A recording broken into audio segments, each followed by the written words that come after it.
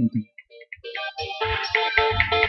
Kunal Subbiah, CFO of CEAT joins us now. Uh, uh, Kunal, good morning. Thank you for joining us. Let's first understand uh, the sector per se.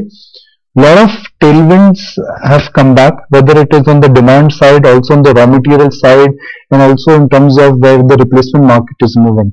Do you see the next 6 to 12 months for the tire industry per se could be strikingly different from the last 6 to 12 months?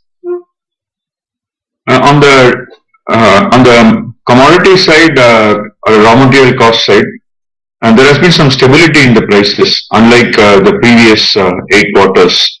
So the material prices have been moving within a range. Okay, crude, for example, has been moving within a range of $75 plus or minus $5. And natural rubber for last one and a half months has been moving within a range.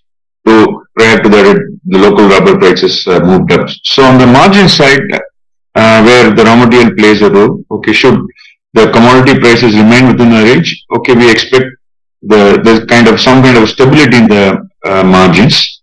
Uh, as far as uh, the revenue side, normally uh, in summer months in the local market we tend to you know sell more as the demand is higher.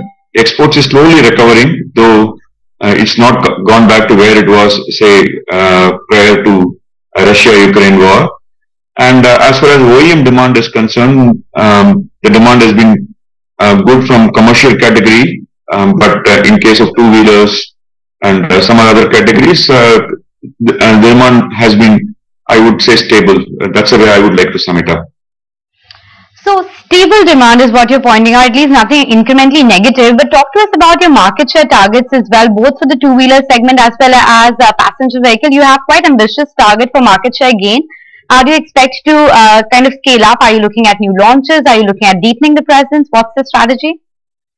Okay, and uh, see for us, uh, passenger is core. Okay, passenger categories of tires, basically uh, passenger car and uh, two-wheeler categories are uh, core to our uh, uh, strategy. So from that point of view, um, as far as two-wheelers concerned, uh, and in the replacement market, we expect our uh, market share currently to be in the range of around 27-28%. We would like it to inch up closer to about 30%. That's our uh, short-term and medium-term uh, plan. as far as passenger car uh, category uh, tires are concerned. Currently, we are closer to about 15% kind of a market share in the replacement market. Okay, and we would like to take it up to around closer to about 18% in the two to three year kind of a time frame. And uh, uh, we have built adequate capacities to meet the requirements, and we are working in terms of you know developing new products, uh, entries into you know various OEMs is also one of the levers that would help in, in getting some growth in the replacement market. And uh, we continue to be present in you know growing categories like EVs where we are making efforts to ensure that we uh, gain some reasonable share. So those are some of the steps that we're taking. Mr. Subbiah, I also wanted to understand when it comes to exports, what's your strategy? Because there as well you're sounding pretty optimistic and bullish and you're looking to double your revenues by FY26. What's instilling this kind of confidence? And more importantly, are you looking at further investments? Are you looking at exploring some M&A opportunities? Uh, uh, last uh, two to three years, we have been growing strongly in uh, exports. Okay, and uh, in the overall, our revenue share, exports used to be around 12 to 13 percent. Okay, in the FY 22, uh, we reached a level of about 20 percent. Okay, and FY 23 was relatively a weak year uh, for exports, and therefore uh, our share, revenue share, was more or less in line with the previous year, about 19 uh, percent or so. Uh, in terms of your question with respect to what uh, what are our strategic actions, one is that our specialty tires, which is uh, agri radial tires, where we build capacities and we would like to grow strongly.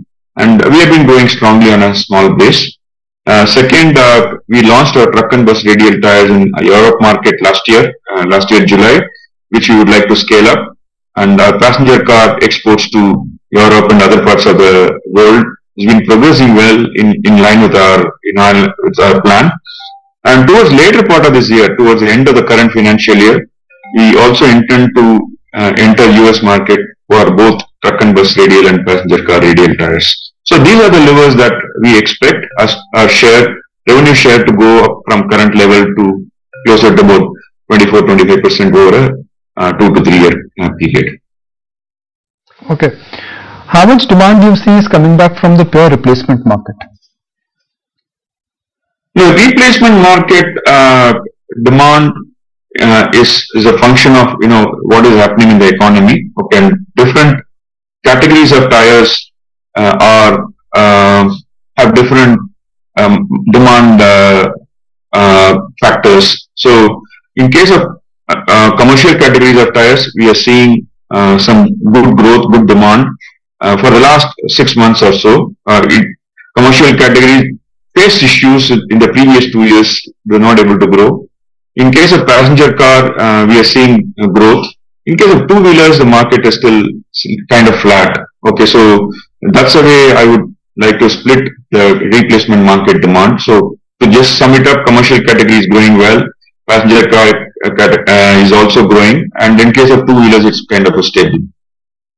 Just before we let you go, uh, I know you gave a bit of color on the margins already that uh, the raw material pricing is uh, stabilizing, but help us understand a few more details. The analysts are penciling in a number of almost 13% when it comes to margins of FY24, and that compares with around 9 to 10% which uh, FY23 clocked in. Do you think that's a realistic number, 13 14% for FY24?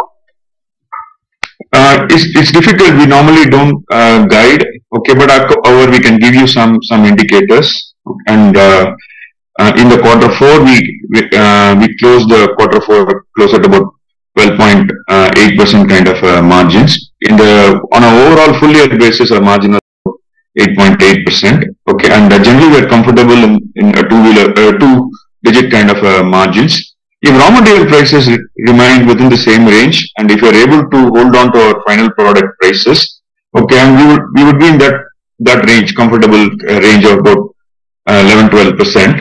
Uh, as far as quarter one uh, is concerned, generally our market uh, marketing cost is little higher because we spend more money during IPL. So that needs to be factored in, in as far as quarter one is concerned. Otherwise, I think we're in a comfortable range. Uh, it's difficult to forecast what will happen to commodity prices as it influences the margins. So, so therefore, uh, we are in a comfortable range. I, am not able to tell you it would be a 13% or a 12%. We would like to wait and watch. Sure. Since you did mention IPL, uh, would it be fair to assume that the marketing and ad spends will only be higher as the year progresses?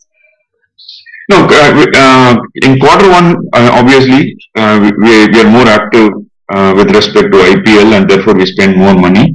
And our, our advertisement cost also, you know, the amount of money that we allocate also depends on uh, how the business is doing, our normal margins uh, that we get, what happens to our costs and things like that.